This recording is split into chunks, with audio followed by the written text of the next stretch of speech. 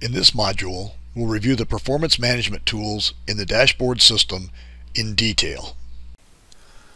This performance management dashboard screen is the namesake of the system and is one of the main elements of the performance management functionality. The dashboard shows a real-time snapshot of the performance of the entire organization or any subset of the organization. In the system, all goals, objectives, and activities are flagged for status with a red, yellow, green, or gold traffic light. In the top left corner of the screen, the traffic light will display the summary of goals, objectives, or activities, which are selected by the buttons to its left. There are 10 activities in the green status. Green indicates that the planning element is on track for successful completion. Typically no changes are needed. Yellow indicates that there's a potential issue looming. It may be that a key resource is leaving the organization, or the grant funding may be lost, or one of the key partners may not be able to fulfill their responsibilities. Red indicates that the successful completion of the planning element is in serious jeopardy. Perhaps a key resource is left, or funding is dried up, or a partner is no longer available. There are 11 activities in gold status. The gold bar indicates a successfully completed planning element. These planning elements are tracked because they may become models for best practices in the future. Everything on this screen is clickable. To get more detail on any specific planning element, you can click on the bulb or the gold bar to see a list of those items.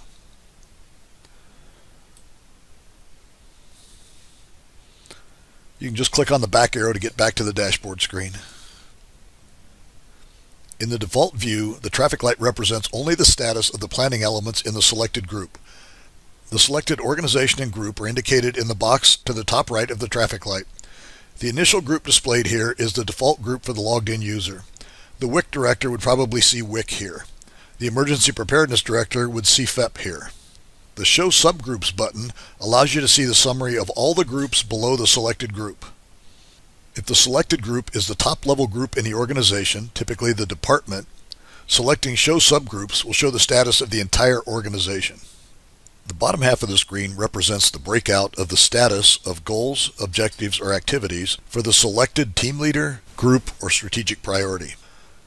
The last updated column shows the last time the information was updated for the selected team leader. This column is color-coded. Green indicates less than 30 days ago, yellow indicates between 30 and 60 days ago, and red indicates over 60 days ago. This color coding is also common to most of the planning elements on this dashboard screen. The FTE column shows the summary of the full-time equivalent activities for the team leader. Each activity in the system can be assigned a team leader, and an FTE value can be assigned to the portion of the team leader's time that will be spent on the selected activity. The FTEs for all of the team leaders assigned activities is summarized here. This can be very useful for you in workforce development activities. Ideally, each leader should have an FTE value between 0.9 and 1.0. When you see people over 1.0 FTE, it may be time to consider adding additional resources to avoid potential burnout and losing employees. The number lagging column indicates how many activities are behind schedule. The system calculates this value using the start date, end date, and percent complete for the activities assigned to the team leader. As an example, if an activity is halfway through its time frame, but less than 50% complete, it will show up in the lagging field.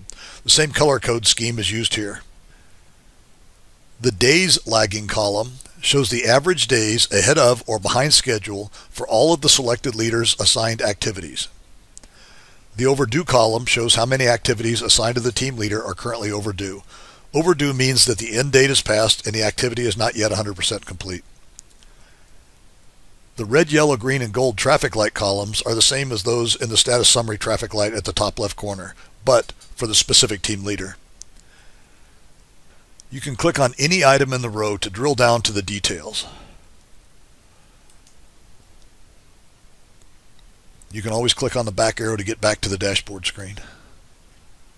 To change the view from leaders to groups to strategic priorities, click here.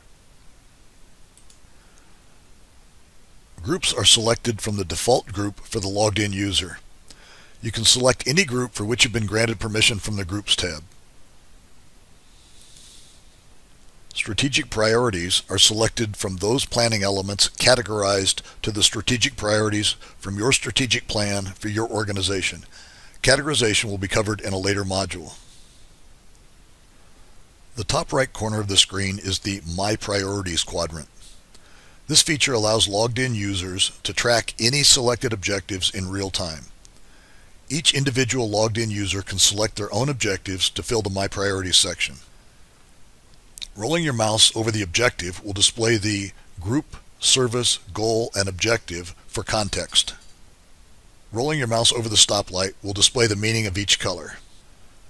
Rolling your mouse over the Notes field will display the full note if the field is longer than the display. Clicking on a key issue will take you to the objective screen where you can get the detail on that specific objective. These objectives can easily be selected and deselected from the objective screen just by clicking on the green flag. And then clicking the back arrow to get back to the dashboard screen you'll see that that objective is no longer on the My Priorities quadrant. The next performance management feature is performance charting. The time-based performance of any objective or activity can be displayed on a chart. To get to a performance chart, select an objective or activity to chart, and then click on the Chart button. For reference, the objective or activity description is displayed at the bottom of the screen. This screen shows the performance of a project-based or quantitative measurement type activity. There are several controls at the top of the screen to help you fine-tune the chart. You can set the date range for this chart. The default values are the first and last dates for the data in this chart. The time frame drop-down allows you to select the spread of data points to be charted from raw, which includes all data points, to years, which shows a single data point for each calendar year in the data set. You can also select whether you'd like to see the last data point in the given time frame or the average of the data points in the time frame. You can also select whether you want to display the percentage complete or the actual values for the item. Percent is the default. The vertical scale defaults to 100% for percentage displays. You can select Auto to have the system calculate the vertical scale. Auto sets the scale from 0 to the maximum number plus 10%. This is typically used when the data point is greater than 100%. All value-based charts are displayed with auto. You can use the print button to print or save the active chart and the objective or activity detail. This chart represents the performance for quality assurance type activities. The controls in the upper left corner are the same as the previous chart. The green line indicates the green value for the QA activity. The red line represents the red value. The area between the red and green lines represent the yellow zone. The blue line represents the actual data points for this activity. The third performance management feature is the automated reminder email system. The system can provide automated email notifications to each person in the system who has been assigned as a team leader for any activities. The messages can be configured to be sent anywhere from daily to monthly. Messages can be triggered for lagging and or overdue activities, as well as if the person has not updated their information in the system in the last 30 days. This email reminds team leaders to update their information in the system on a regular basis, keeping the information current. Thanks for reviewing the Performance Management Dashboard. In the next module, we'll review the partner management features in the dashboard.